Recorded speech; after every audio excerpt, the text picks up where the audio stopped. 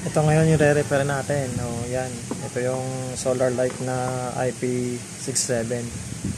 Napakahirap nitong baklasin kasi nakadikit ito dito sa solid dot.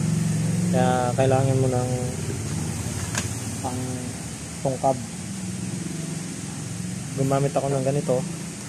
Sinisiksingit, sinisiksingin ko muna yung papaganyan hanggang sa lumambot na or matanggal na yung mga sobrang dikit, sobrang hi- hirap niya yan oh. Nakakanda sira-sira yung ano pagsiksik ko paloob papunta sa ilalim. And then after that, ginamitan ko siya ng sanction para mapakawang ko siya ganyan. Ayan, kumakawang na siya. Tapos utay-utay ko siyang ginagamitan ng pang pull out. Kasi yung mga dikit dito sa part na to, tsaka dito, nakawang na yan. Basta magkaroon ka lang ng patience Huwag mo siyang bibiglain kasi pwede mabasag mo to. Pag nabasag mo to, wala na. Useless na siya. Ayan na. Bubuksan ko na siya.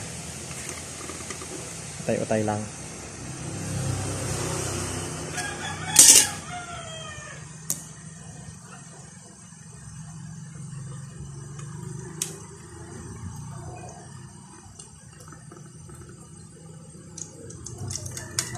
Yun o.